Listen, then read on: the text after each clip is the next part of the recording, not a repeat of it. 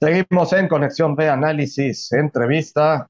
Después de varios malabares eh, tecnológicos, técnicos, el tiempo, problemas eh, personales de toda índole, con una de las instituciones más odiadas de este país, está con nosotros por fin, por fin, Celso Eric Garrido del Castillo, nuestro gran analista de economía y finanzas, para que nos hables al respecto, mi querido Celso. Bienvenido, buenas tardes. Muy estimado Jorge Luis, qué gusto saludarte a ti y sobre todo a toda la audiencia Conexión B, aquí en la cadena de los verdaderos eh, clásicos. Oye, pues sí, una serie de turbulencias que bueno, vaya, una, un via crucis, pero bueno, lo importante es de que ya, ya estamos aquí y vamos a darle. Oye, te decía, eh, platicando antes de, ese, ese eh, eh, abrupto, este, ¿cómo se llama? Que se canceló nuestra transmisión. Hablamos de la, de la nueva política industrial que se celebró a bombo y platillo la semana pasada, la secretaria de Economía, Tatiana Cloutier, y bueno, pues el, subsecretario de Hacienda. Y hablaban de esta nueva política industrial que se enfoca en cinco sectores, ¿no? Obviamente, eh, agroindustria, electrónica, electromovilidad, servicios médicos y farmacéuticos, así como las industrias creativas. ¿Por qué? Porque suponen que van a ser el área o la punta de lanza para las nuevas empresas que vienen y obviamente con lo que hoy requiere con el New Shoring. Ahorita vamos a platicar. Y por otro lado, tenemos la política industrial que va a través de cuatro ejes transversales, innovación y tendencias tecnológicas, eh, formación de capital humano, promoción de contenido regional y encadenamiento para pymes e industrias sostenibles y sustentables.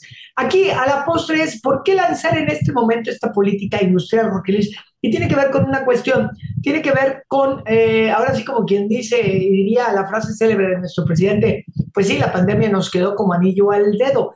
Porque bueno, eh, si bien es cierto, desde, hace, desde, desde antes de la pandemia existía una, un roce con China y obviamente ahora con, o, o, con Ucrania y con Rusia, obviamente por, por esas cuestiones, inclusive hoy aparecía que, que el, el gobierno de Estados Unidos les mencionaba a, su, a los norteamericanos que salían de, de, de Rusia.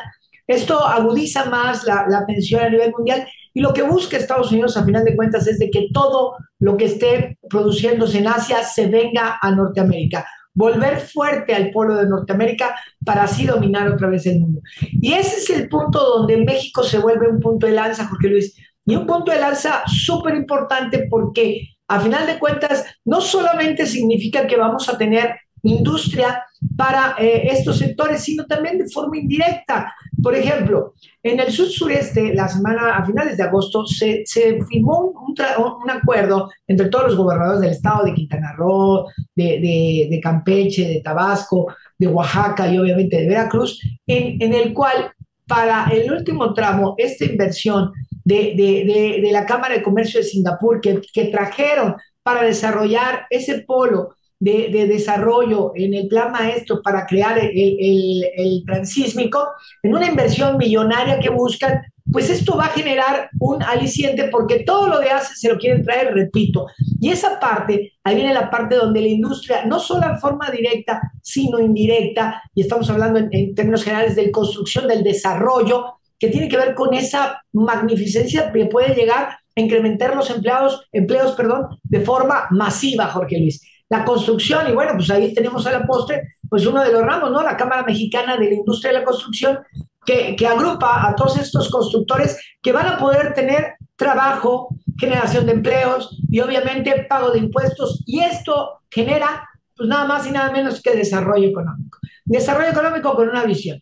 Entonces, creo que este es el punto medular que, que estábamos esperando y, ojalá, ojalá lo entiendan eh, eh, los, los gobernícolas, diría, este, citando a Ricardo Salinas Pliego, ¿eh? que conste, este, que, que, bueno, que a veces les falta visión. Pero creo que ese es el punto hoy. Tienen todo, lo están tratando de, de, de asimilar y bueno, que no se quede como aquella frase célebre de Serra Puche, donde decía que la mejor política industrial es la que no existe.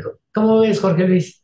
Oye, Celso, no, eh, la verdad está muy interesante. Yo, yo también eh, pienso igual que tú. Bueno, no, no, no sé si igual que tú en ese sentido, pero eh, fueron cuatro años los que han pasado y luego al cuarto año que saques ya una política industrial, creo que no va a dar tiempo de entrada, ¿no? Digo, las intenciones son buenas, Sin embargo, bueno, pues probablemente ya están pensando que para el siguiente sexenio ellos van a continuar y le pueden dar una continuidad a esto. Si es para bien, adelante, digo, eso no está mal.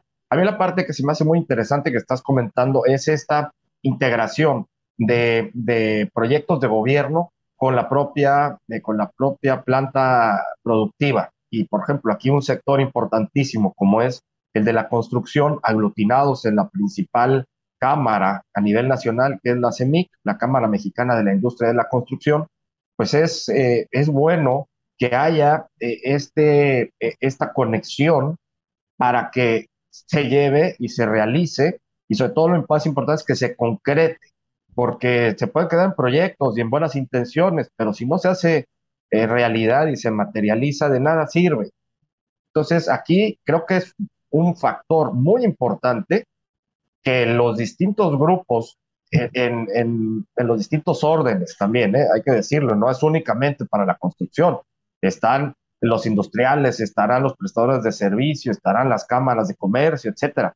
Los que tengan que intervenir pero en este caso primordial, que es eh, la industria de la construcción, que es uno de los puntales del desarrollo económico de cualquier nación y obviamente de nuestro país, que puedan estar en, comunión eh, con estos proyectos de gobierno, porque si se disocia todo, de nada sirve, No, no, no, es que definitiva, fíjate, la, la Cámara, la CENIC, la Cámara Mexicana de Industria de la Construcción, no, no solamente aglutina a los, a los, a los em, em, empresarios dedicados a este ramo, sino también capacita. Entonces, eh, y hay una parte importante cuando, cuando pagan al gobierno del Estado un acuerdo con la Cámara Mexicana de la Industria de Construcción para capacitar al personal. Entonces, es, se, llega a darse un círculo más amplio, porque, porque también hay que capacitar al personal, o sea, para que también crezca, que, que tenga mejores normas, que tenga mejores habilidades. O sea, ese es el punto donde, donde no solamente debemos de pensar en todo lo, o, sea, a final de cuentas siempre macro, sino cómo poderlo hacer a forma micro. Creo que eso es lo que nos hace falta también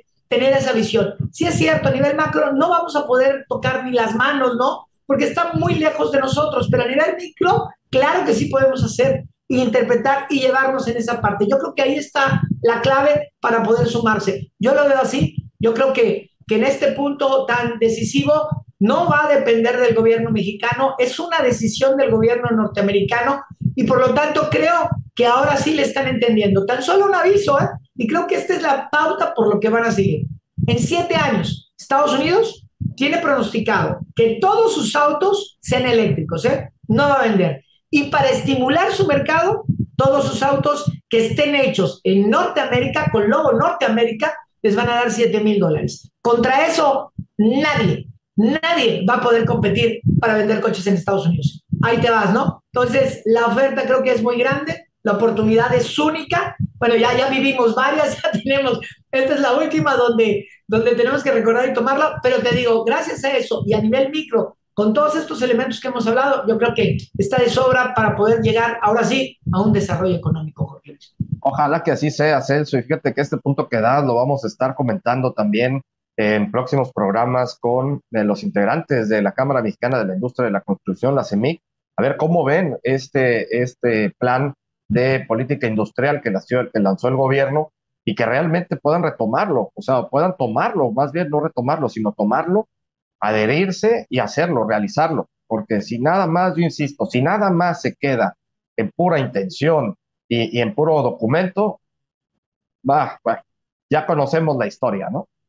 Ahí están, ojalá, ojalá esto de los gobernícolas pues no, no, no, no se quede solamente en la palabra, en el adjetivo, y bueno, pues realmente tomen, tomen el reto y vean que también hay política, que ya por favor dejemos de tomar un poquito de las campañas políticas, o sea, no todo es campaña ni todo son elecciones, también hay que tomar decisiones y también hay que dar acciones y sobre todo resultados, que es lo más importante. Ahí está. Perfecto, perfecto, mi querido Celso, muchísimas gracias vamos a estar contigo la próxima semana y ya esperemos que ya, no, ahorita no, no vas a estar, este, vas a estar ausente un par de semanitas, ¿no? Tienes ahí este, pendiente, Tengo pendiente, eh, este, bueno, de regresar no regreso nada, pero vuelvo, vuelvo en dos semanas, este, si, Dios me lo permite, claro que sí estaremos aquí con más gusto, trayendo más, más análisis, sobre todo aportando y van estando aquí en el mejor noticiero platicado y extendido de noticias en Conexión B. Gracias por todo, como siempre, Jorge Luis, y estaremos pronto para regresar. claro que sí, no, al contrario. Muchas gracias a ti, mi querido Celso, Eric Garrido del Castillo, el día de hoy hablándonos de economía y finanzas. Vámonos al corte, regresamos.